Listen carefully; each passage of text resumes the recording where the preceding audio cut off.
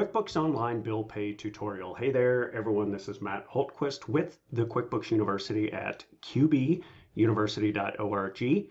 Uh, so we are going through a couple examples today on how to pay bills in QuickBooks Online.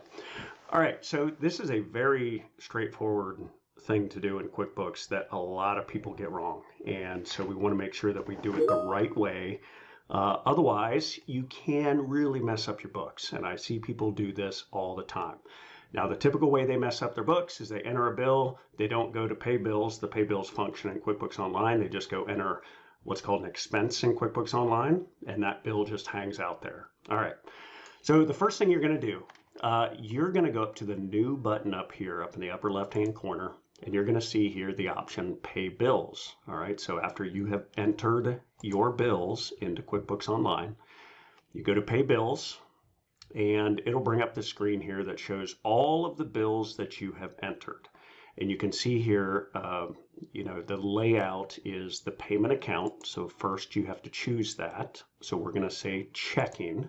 Now, if you were paying with a credit card, okay, so let's assume that instead you went online and you maybe paid this PG&E bill with a credit card.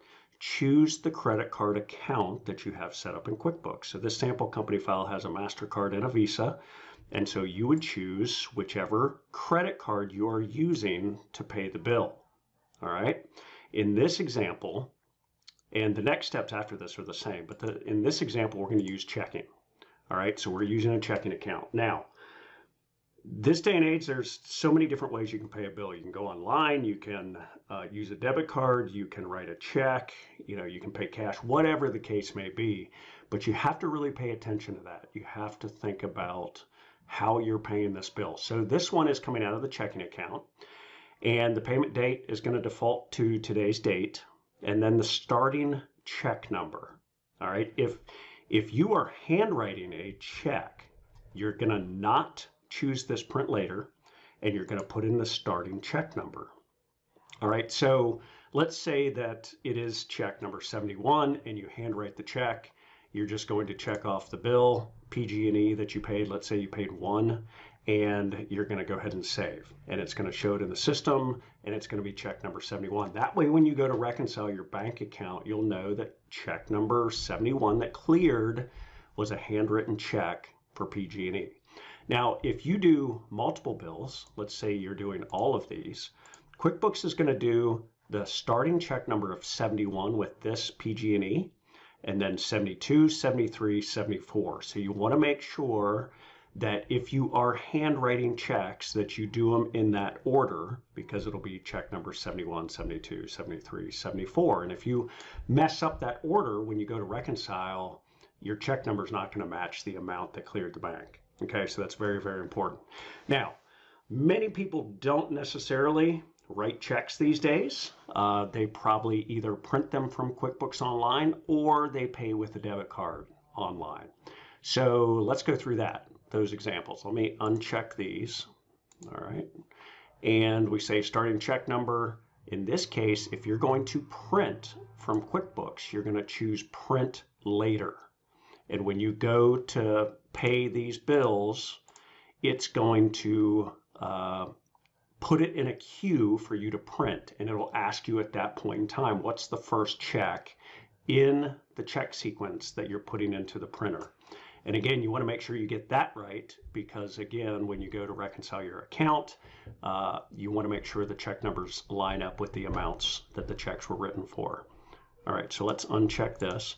Now, the other thing is uh, if you pay uh, electronically, so if you pay with a debit card, so it's not a credit card, it's a debit card, which means it's coming directly out of your checking account. What you want to do is just change this to EFT. All right, you can capitalize it, you can put debit, it doesn't have to be EFT. EFT stands for electronic funds transfer.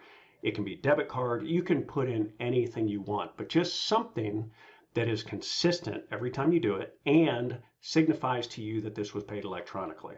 So it could be online bill pay, it could be, you know, again, debit, it could be anything. I typically put in EFT, which tells me that, you know, I paid these bills with a debit card probably online. All right, so if I check all these off and, and I hit save, it's going to put EFT next to every single one of these bill payments in my check register. And that way, again, I know that it was paid electronically.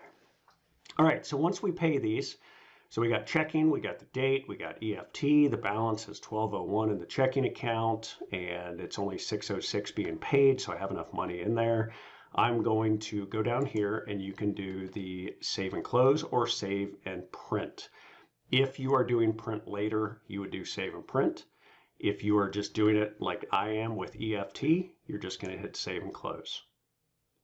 And there, we have paid those bills. So if I go back to pay bills, you'll notice that those bills are no longer in my accounts payable, my queue to be paid because they have already been paid. All right, any questions, any comments, feel free to leave those below. Hope you enjoyed the video and I will see you in another one.